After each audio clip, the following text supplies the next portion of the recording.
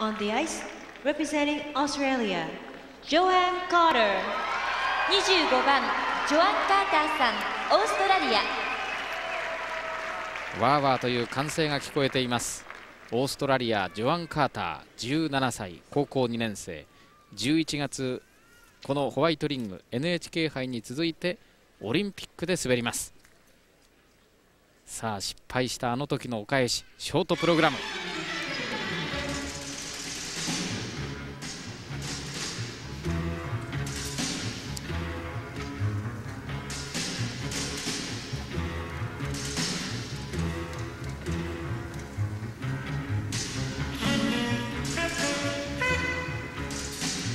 ずルッツ3回転うん惜しい。ダブルト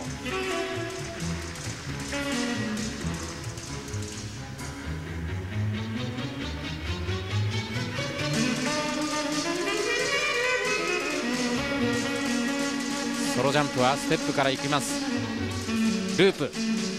これはきっちり3回転。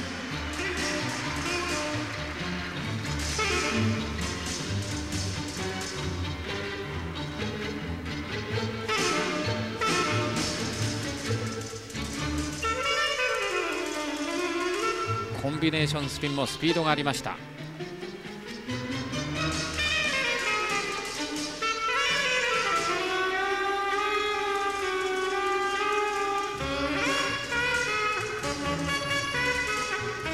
曲は「I'm Late I'm Late」エディ・ソーター。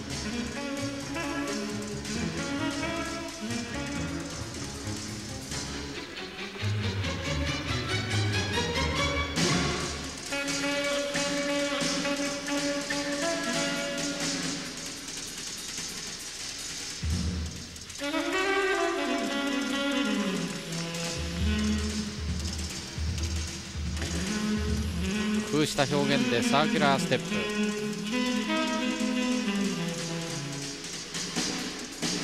これもなかなかスピードがあります。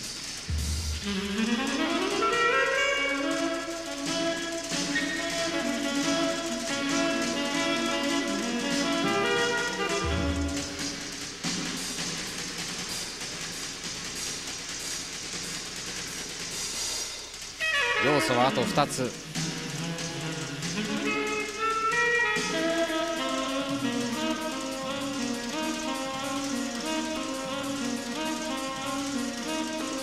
ダブルアクセル。降りました。そしてフライングキャメル。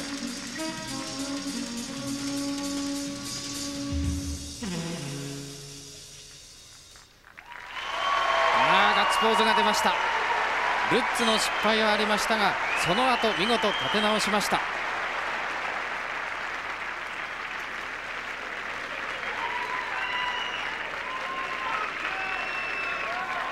3ヶ月前のこの長野ホワイトリングでは一つの失敗が連鎖反応。いわゆるフィギュアの関係者ボロボロの演技内容になりましたジョアン・カーター。このループが決まったことで乗っていきました。軸がきちっとしています。綺麗に降りています。あ動きにもリズムが出ましたねあのジャンプの後。2回転半もこれも難なくこなしてそして全体にスピード感がありました.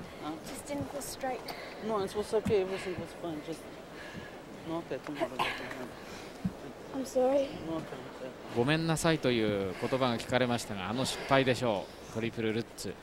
アンドレー・パシンコーチ。Hi. 3ヶ月前にはもう泣きながらの.氷から上がる様子でした。ジョアン・カーター。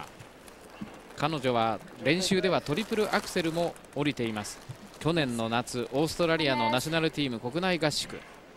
トリプルアクセルといえば89年の伊藤みどり選手。91年にトニア・ハーディング選手が競技会で成功していますが彼女もいつの日が競技会.大会 で成功することがあるんでしょうか.全体にスピード感がありそしてジャンプが得意のジャンプが Say hello to. 一つ失敗。しかしあとは決めていきました。減点がどのあたりかということになります。それと全体に滑りの正確さそしてスケーティングの質の高さこういったものを勘案してノーミスでいったとして基礎点というものが出てきます。そしてまずエレメンツです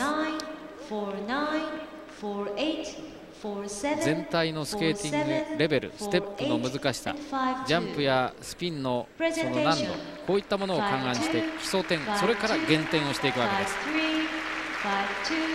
プレゼンテーションの方は5点台の前半9位をつけたジャッジオーストリアのジャッジは8位をつけています20